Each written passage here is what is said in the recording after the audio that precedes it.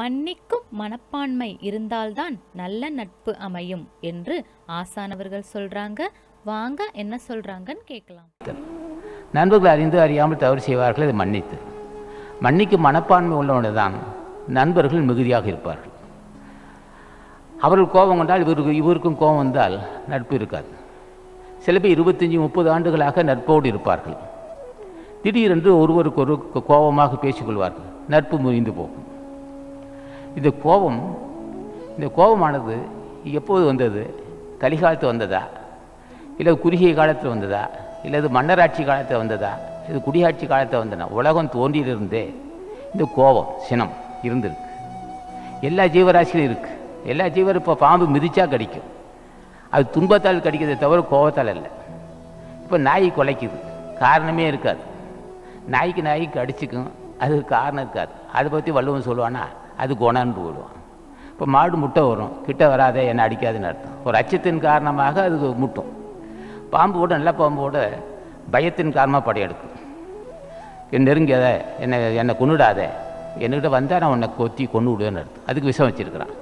தற்காப்பு. அது பாம்புக்கு விஷம் இருப்பது தற்காப்பு. மாட்டுக்கு கொம்பு இருக்குது தற்காப்பு. நாய்க்கு ஏன் இந்த குணம் வச்சிருக்கான்னா மனிதரை திருத்துவத்துக்காக வச்சுருக்கிறான். தேலோட எதை அது எது எதோ செடியறனா தான் தேல் கொட்டும். இல்லைன்னா எந்த ஜீவராசியும் மற்ற உயிருக்கு தீங்கு தராது. ஆனால் மனிதன் மட்டும் அது அந்த உள்ள ஜீவராசி மற்ற ஜீவராசிகள். மனிதனுக்கு ஏன் கோபம் வந்தது? இந்த கோபம் பல லட்சம் கோடி ஆண்டுகளுக்கு முன்னவே மனிதன் வரும்போதே கோபத்தோடு வந்திருக்கிறான். காமம் வெகுளி மயக்கம். காமம் என்பது எல்லாருக்கும் தெரியும். வெகுளி என்பது கோபம். மயக்கம் மயங்குது நிலையில்லாத கண்டு மயங்குது இப்போ இந்த உலகம் தோன்றும் போதே இந்த மூன்று குணங்கள் காமம் வெகுளி மயக்கம் அல்லது அழுக்கார் அவா வெகுளி இன்னாச்சொல். இந்த பொறாமை பேராசை கோபம் வன் சொற்கள். இந்த இந்த நான்கு குற்றங்கள் இருக்கும். உலகம் தோன்றியிருந்தே மனித வர்க்கம் எப்போ தோன்றினாரோ அப்போ இருந்திருக்கு.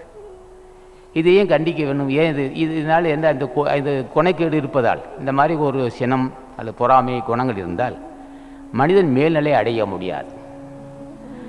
என்ன காரணம்? மனிதன் இந்த குணக்கேடு நீங்க வேண்டும். குணக்கேடு நீங்கினால் அவன் தெய்வத்தன்மை அடைகிறான். மரணமெல்லாம் பெருவால் பெறலாம். இந்த குணக்கேடு இருந்தால் நிச்சயமாக அவன் பாவம் சூழ்ந்துடும் இப்போ ஒருவனை மனம் நோக பேசினால் கோபத்தில் பேசுகிறான்.